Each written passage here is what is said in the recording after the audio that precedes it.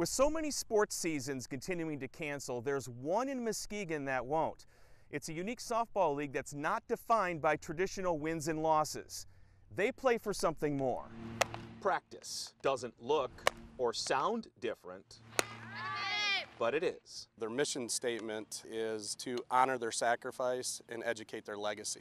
A travel softball team made up of area all stars playing the game they love I want to be a part of this because I know it's bigger than the game. for somebody's loved one playing less for yourself and more for people that can't. Who gave the ultimate sacrifice. Folds of Honor uh, is a nonprofit organization that gives scholarships to uh, deceased servicemen and women and disabled servicemen and women's spouses and children.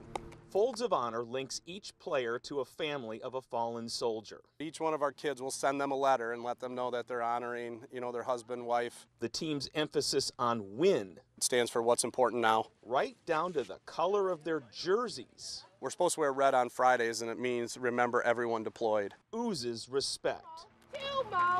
And before every game, the reminder that there's something else being fought for that's more important than the battle unfolding between these white lines. The 1% of people that are willing to sacrifice their life for the 99% of us, I believe, deserves all the honor that we can give them. Being in the atmosphere of playing for someone's family that was affected, that was in the military, just means a lot to me knowing that I'm helping people who have helped me. Brent Ashcroft, It's just something different, but I think the difference really good. 13 on your side. Art!